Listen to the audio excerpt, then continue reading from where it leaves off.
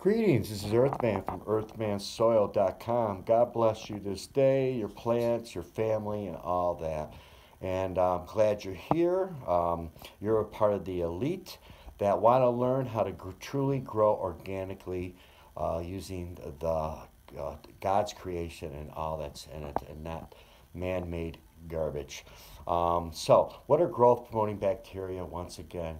Okay, well, let's look at the plant first. You know, you look at the plant and you think, I mean, they're pretty vulnerable, but we know better that plants are not vulnerable as they appear. And they got a little buddy that helps them, little buddies, I should say. And these are soil microbes. And soil microbes, what they do is they form a symbolic relationship with your plant. And by doing that, they offer your plant uh, to boost its defense uh, defense system um, and, and, and, help promote its growth through different functions and different ways. And in return, they get food. And we'll talk about that in a minute. You know, uh, growth promoting bacteria, what they do is basically they hang out around your plant's root system in, or, in and around it, except for mycorrhizal. They do stretch out, but they're able to still connect with the root system to get fed. But they like the root system because what they do is they make, they uh, help uh, dissolve minerals and uh, food around the, rhizosphere and they help feed your plant. They help make those nutrients ready.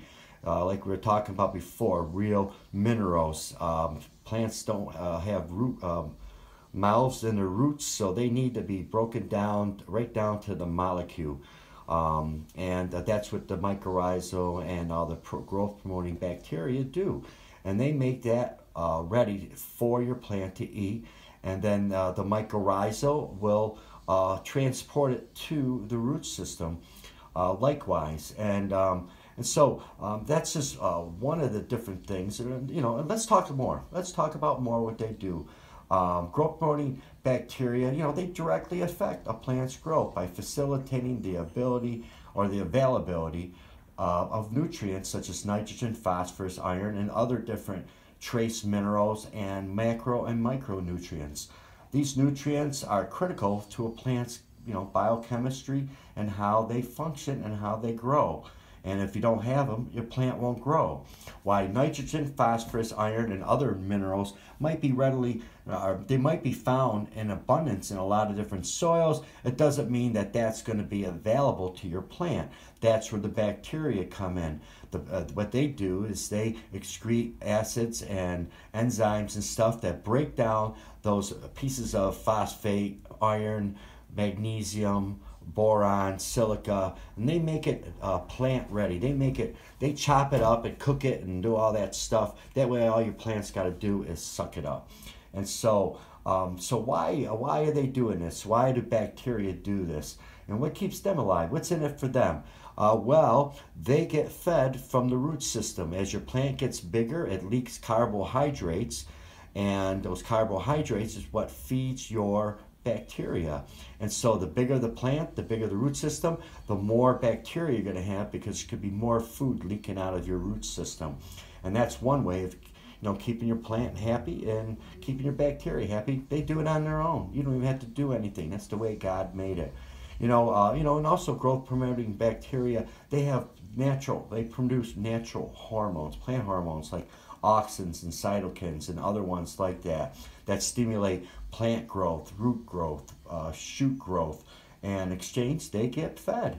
You know, and they also uh, trigger a plant's um, ability uh, to defend itself. Um, how do they do this? Um, well, they do it through a thing called induced systematic resistance, which triggers the signaling of a plant to activate its plant's defense system, such as reinforcing reinforcing a plant's um, uh, plant cell walls, producing antimicrobial um, stuff that will fight bacteria and synthesizing uh, pathogen-related proteins that will help likewise. And there's so many other ways that they protect your plant against uh, pathogens and fungi and evil stuff that want to destroy your plant. Now, um, you know, growth promoting bacteria, they come in different forms. Um, I have it in three different forms on our website. Um, uh, one is in a uh, freeze dried powder form, and um, and another one is in um, an IMO three fashion, which is uh, it's inoculated wheat bran, which is my favorite way. And our matter of fact, our Grovana OS is the one that has all our bacteria and biostimulants in it for the most part, unless it's uh, it doesn't have the science stuff in it, but we do ha- have that availability. But um, and then we have liquid inoculants too. I um, had some on the market. I sold, you know, uh, took them off. Um, I'm putting them back up now. It just was a lot of demand for it. It was and so um, I want to make good quality product for you guys, and uh, and that's for sure. And I and also I figured a way of um, stabilizing it for during shipping, which is an awesome thing. Now, um, you know, growth promoting bacteria, guys, is the way to go if you want to grow organically.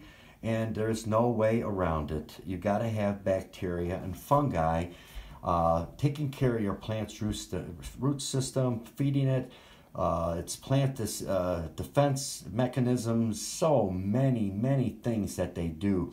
And you don't never need to have liquid fertilizers ever again. And like we are talking about in these other videos, if you want uh, uh nutrient dense, healthy plants that produce both your medicine and uh, all your different stuff uh, that your plant's going to need, you got to have a living soil. Check us out at Earthman Soil. We have so many things to offer you. So check us out. And uh, we're going to talk, keep talking about this more and more uh, throughout the weeks. May God bless you this day.